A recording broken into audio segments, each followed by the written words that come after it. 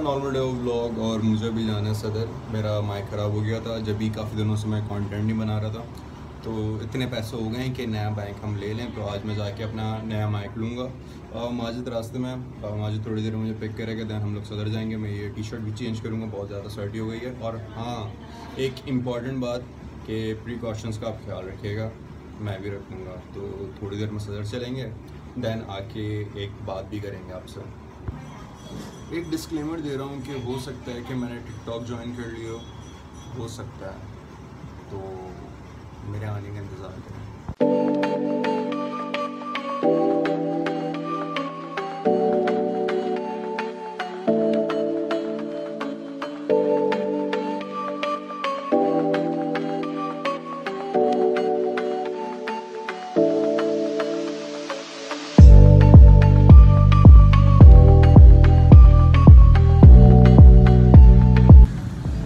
मैं सदर मौजूद हूँ। माजिद भाई मेरे साथ हैं और मुझे भी लेना है माइक तो चलें।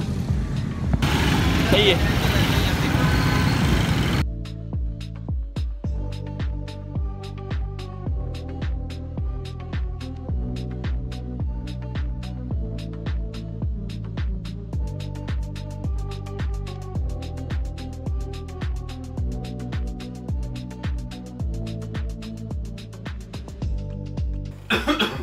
ये रहा मेरा पुराना माइक और ये नया माइक है जो कि मैं लेकर आ चुका हूँ। तो सबसे पहले इसको कैमरा पे फिट कर लेते हैं देन मैं आपसे करता हूँ बात।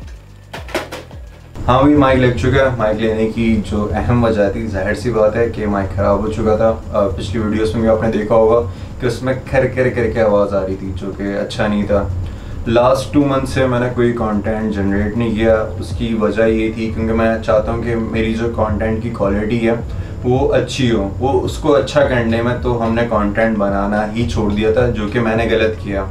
यूट्यूब ऐसे नहीं चलती यूट्यूब चलती है क्वांटिटी पे, ना कि क्वालिटी पे। और क्वांटिटी के साथ अगर आपकी क्वालिटी भी अच्छी हो जाए तो आप एकदम ऊपर बूस्ट कर जाते हो।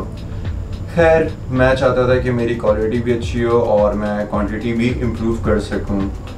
तो अब से कोशिश करेंगे कि इन के व्लॉग्स वगैरह बनाते रहें और जो पास के व्लॉग्स हैं जो इनकम्प्लीट व्लॉग्स मैंने छोड़े हुए हैं वो भी इसी वजह से कंप्लीट नहीं हुए क्योंकि मुझे वॉइस ओवर करना था अ, मुझे माइक चाहिए था अच्छा। पुराने वाले माइक में इस माइक में खर कर करके आवाज़ आ रही थी जो कि एक अच्छी वीडियो बनाने के लिए अच्छा नहीं था मेरे लिए। तो इन अब इम्प्रूव करेंगे गलतियों से सीखेंगे और आगे बढ़ने की कोशिश करेंगे। आई होप आप लोग समझ चुके होंगे।